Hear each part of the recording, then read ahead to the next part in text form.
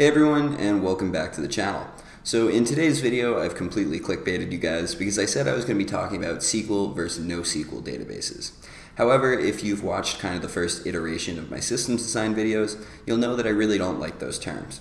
The reason being that just kind of generalizing about a database based on its query language is stupid. There are plenty of SQL databases that do act a certain way, but there are many other implementations of databases that use SQL that act very differently, and the same goes for databases that don't use SQL as their query language, hence why I don't like the term SQL and NoSQL. What I prefer to use instead is relational and non-relational databases, so let's go ahead and talk about those, discuss the differences, and then move on to subsequent videos where we can look at actual real-world examples of databases. Okay, so we're going to start by talking about relational databases. What are they? Now, you definitely may think of a database like MySQL or Postgres when I'm talking about something like relational databases, and if you do, you are correct. However, MySQL and Postgres have other stuff going on between them other than the fact that they just are relational databases, which is why I'm going to keep this video pretty general and then make dedicated videos for each type of database. So what is a relational database? Well, basically, the whole point of these are we have a bunch of different tables where each table represents one type of data model. So let's imagine I'm talking about trains and stations because trains and stations have relationships between them. So as you can see in the trains table, I've got red line, blue line, pink line, and the stations I've got Broadway, Yankee Stadium, and your mom because I can't resist the low-hanging fruit of making a your mom is getting trained joke. So then, of course, what aspect of this involves relationships? Well, we know that a train can be at multiple stations, and a station can have many trains going to it. And so as a result, what we have here is actually a many-to-many -many relationship. And so that is exemplified by the train stations table.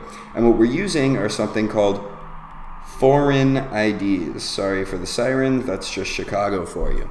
So we have foreign IDs, and what the, those basically say for us it creates the relationships between two rows of two different tables. Or they could even be in the same table if we really wanted to. But basically, this row right here is saying uh, train with ID 1 at station ID 1. So it's saying that the red line stops at Broadway. And what this is called is called normalized data. Because for each piece of data that we want to represent, we just put it in our tables once, and then using foreign keys, we can establish relationships between them.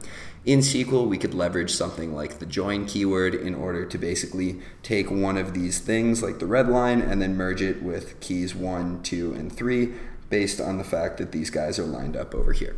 But again, we're not worried about the query languages here, we're more so worried about how data is actually organized. So what are the downsides of relational databases? Well, mainly they just have poor data locality. So what do I mean by that? Well, let's imagine that all three of these tables were in one place. Realistically, those tables are not going to be lined up to one another on disk. You know, they could be here and here and here. And so when I'm actually seeking, I have to go to a bunch of different places on my hard drive. But this is a distributed systems focus, and even more so, a more catastrophic case would be they're on physically different nodes in our cluster. So what that means is we might have to end up using distributed transactions in order to perform writes. Let's say I wanted to add a new train station and you know we know that certain trains go to it. Now i have to write to both the stations table and the train stations table which are on different computers in the same write. And that means that i would have to use something like two-phase commit which is slow even if we're not performing writes, if I simply want to perform a join, now I have to read from the trains table, the stations table, and the train stations table. And as a result of that, my reads are going to multiple different systems. That's just a lot of extra latency. And so distributed reads are also going to be slow. So what can we do to actually go ahead and mitigate the cost of having poor data locality? Well, we could organize our data differently so that we have better data locality. And the way we would do that is with a non-relational database. So traditionally, most NoSQL databases are non-relational. However, that's not always the case, which again is why I don't love the term NoSQL. But if you see it, that's probably what they're talking about. So instead of using normalized data, NoSQLized databases use denormalized data, which means that we're keeping our data effectively in something called records, just think of it as a key value store or something similar to that. And as opposed to, you know, having relationships where one row can explicitly reference another, we actually keep all of the data that we need in every single record. So imagine that the keys were the train names, now all of a sudden the values are all of the stations. So you can see your mom is repeated for the red line, blue line, and brown line because it is a station that all three of those trains go to. So now we do have better data locality, but obviously that has to come at a cost, right? We have repeat data. And so what are the trade-offs of something like this? Well, for starters, we do avoid cross-partition reads, right? Because let's say I wanted to know all of the stations that the red line stops at it's all stored right together, which is great. However, this comes at a big cost, which is that if I wanted to say, hey, your mom is out of commission for the week, I don't know, maybe uh, she's been having too many trains, then we're going to have to remove that from three places. And that right there might be a distributed transaction in and of itself because all three of those deletes need to go through.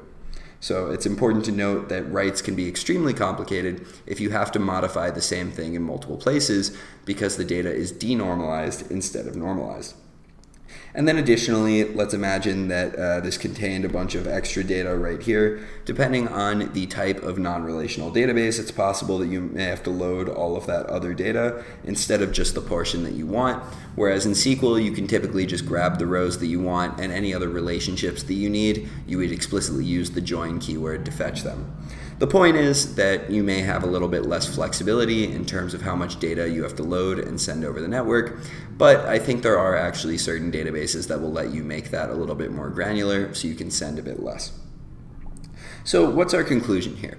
Again, I don't want to basically assume any particular type of locking or database index type usage or replication schemas or anything along those lines. Because the truth is, there are many, many different types of relational databases. There are many, many different types of non-relational databases.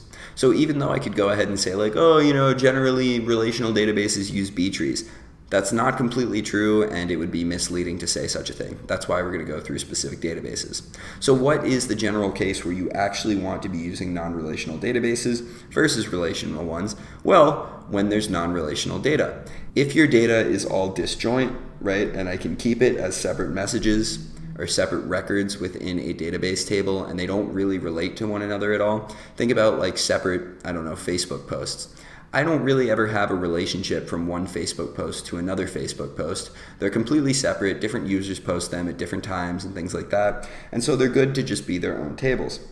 At the same time, if I wanted to basically represent a relationship in my data, let's say we've got a bunch of different books, right? And each book could be pointing to a separate author, author one, or author 2, that's a good example where you may want to use a relational database because we have data that is naturally well represented by relationships. So of course, when choosing a database, you need to really think clearly about how the organization of your data is going to look, and then making that decision between a relational or a non-relational database is oftentimes going to be the first decision that you need to make. Anyways, guys, hope you enjoyed this video. I will see you in the next one, and uh, yeah, have a good week.